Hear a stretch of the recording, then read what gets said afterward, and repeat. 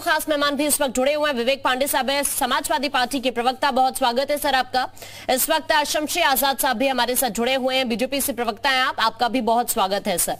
देखिए, पाँच express way वाला यूपी और अब बुंदेलखंड एक्सप्रेस वे की कल सौगात प्रधानमंत्री नरेंद्र मोदी देने जा रहे हैं। क्या ये योगी सरकार में मुमकिन है क्या सर? आज़ाद साहब।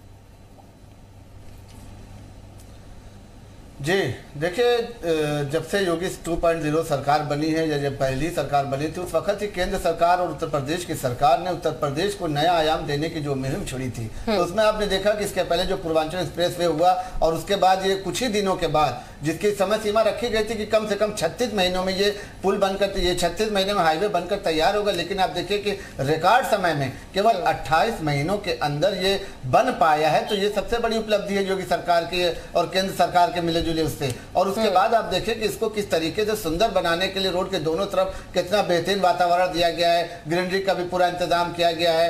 आम जनमानस के लिए भी पूरा इंतज़ाम किया गया है। दो सौ छोटे पुल और सात जो है बड़े वो क्या कहते हैं कि रैंप बनाए गए वहाँ पर।